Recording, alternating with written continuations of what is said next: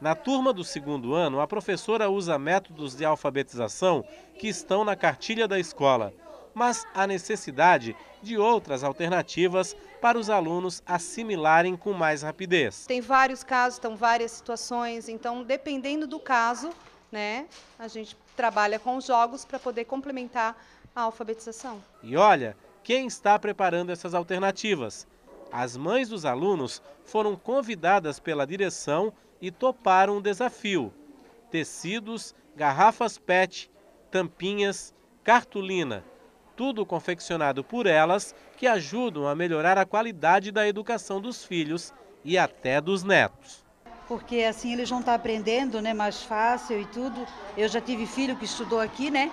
Hoje está minha neta estudando, então é muito importante. É bom acompanhar.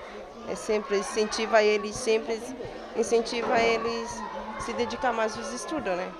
E como é que é preparar os joguinhos que eles e os coleguinhas vão usar assim em sala de aula? É legal, é muito legal, é importante. Sempre estar tá participando. Eu achei muito legal esses esses tipos de que eles estão fazendo, né? Nós orientamos os grupos de trabalho, né?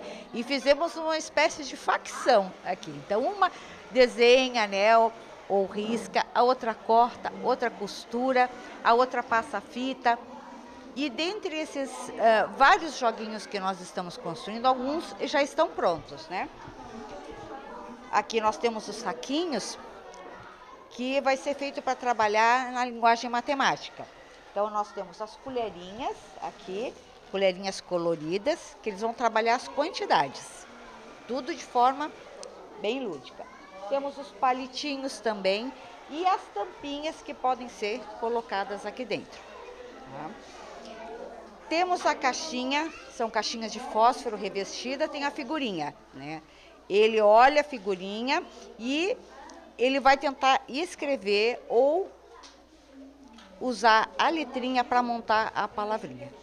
Ver os pais de alunos reunidos assim também faz parte de um projeto para que a família venha e participe da vida escolar dos alunos.